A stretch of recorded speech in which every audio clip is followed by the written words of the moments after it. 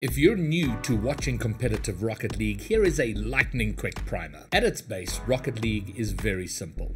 Football in rocket powered cars. There are always two teams a blue team and an orange team. The blue team's trying to score in the orange net, the orange team's trying to score in the blue net. For any competitive Rocket League that you might be watching, you will see a screen that looks something like this.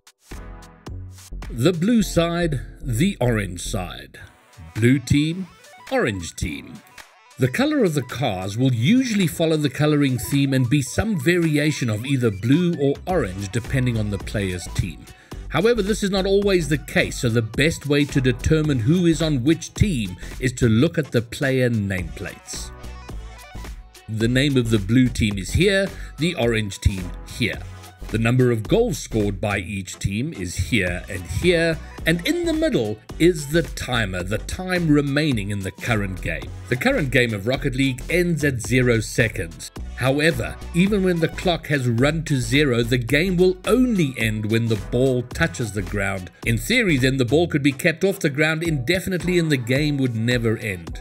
At high levels of play, it is not uncommon for a game to run an additional 5, 10, or even 20 seconds once the clock has run to zero. Every series of Rocket League is either a best of 3, 5, or 7.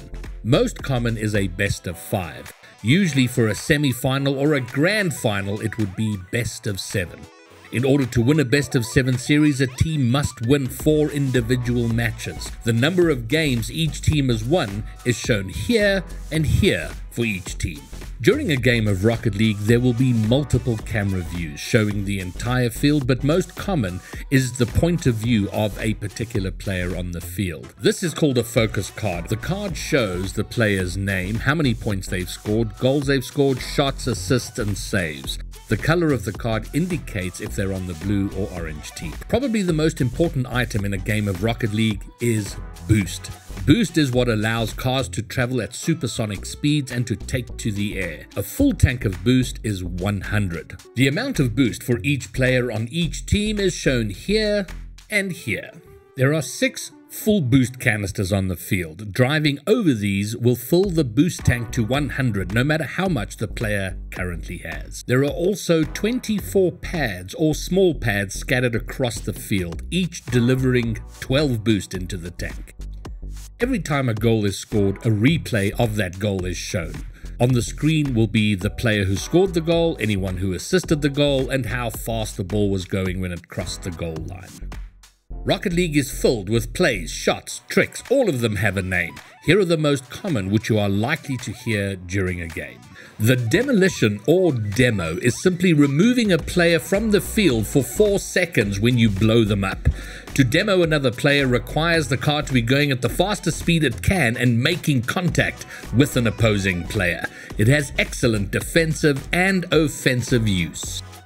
The flick as it says on the tin, the player will carry the ball and then flick it with extra speed. The air dribble is when a player will catch up to the ball in the air and keep it under his control for his desired play. The double tap, or simply double, when a player hits a ball to a surface and follows up and hits the rebound to that surface. Tap 1. Tap 2.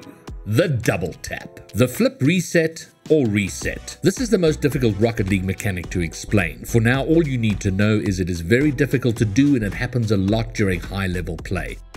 It requires the player to place all four wheels on the ball and it provides the player an additional bit of power for a final shot. And there you have it, the lightning quick primer. The rest of it you will pick up as you go along. Happy watching!